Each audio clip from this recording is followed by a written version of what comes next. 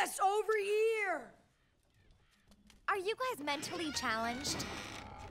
If you are, I'm certified to teach you baseball. Detectable movement!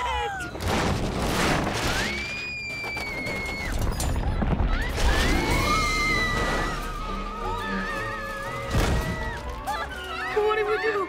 What do we do?